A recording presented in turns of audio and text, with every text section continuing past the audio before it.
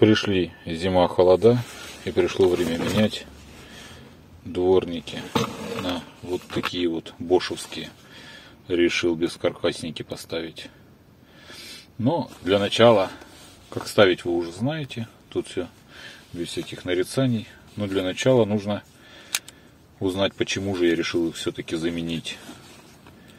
А дело в том, что дворники, которые у меня были, они порядком подизносились.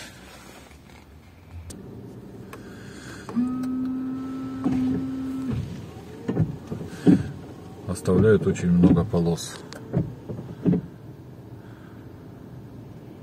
Посмотрим, как будут работать эти.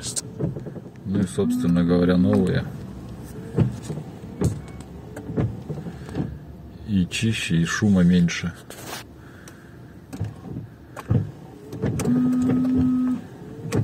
Ну